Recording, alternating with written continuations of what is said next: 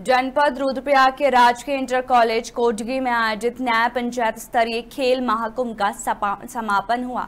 बता दें कि उत्तराखंड राज्य स्थापना दिवस के अवसर पर जनपद में सभी न्याय पंचायत में दो दिवसीय खेल महाकुंभ का आयोजन किया गया।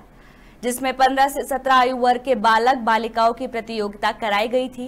कॉलेज कोटगी के प्रधानाचार्य बी एस नेगी ने बताया कि खेल प्रतियोगिता में विभिन्न विद्यालयों से आए छात्र छात्राओं ने बेहतर प्रदर्शन किया। समापन अवसर पर प्रथम, द्वितीय, तृतीय स्थान पाने वाले खिलाड़ियों को मेडल व प्रमाण पत्र देकर सम्मानित किया गया। रुद्रप्रयाग से सत्यपाल नेगी की रिपोर्ट। भाइयों ने यहाँ पर भाग किया। जो कि सारी पंचायत के अंतर्गत आती है।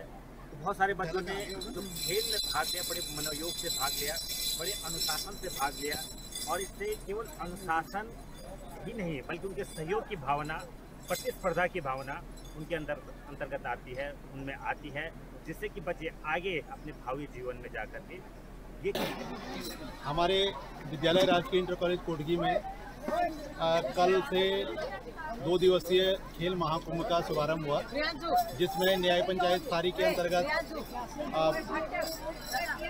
जनता उत्तर माध्यमिक विद्यालय ककोड़ा खाल जनता उत्तर माध्यमिक विद्यालय ग्वालीधार और संकुल सारी के समस्त विद्यालयों के बच्चों ने अंडर 14 और अंडर 17 की विभिन्न प्रतियोगिताओं में प्रतिभाग किया। हमारी न्याय पंचायत स्तर के खेल दो दिवसीय खेल आठ और नौ तारीख को संपन्न हो चुके हैं आज।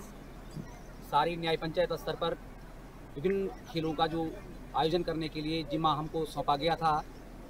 अपने प्रधानाचार्य के कुशल नेतृत्व में हमने बहुत अच्छे ढंग से संपन्न कराए हैं। इसके लिए मैं अपनी पूरी विद्यालय की टीम को बहुत बहुत धन्यवाद देता हूँ और जिन बच्चों ने प्रतिभाग किया, सभी प्रतिभागी छात्र छात्राओं का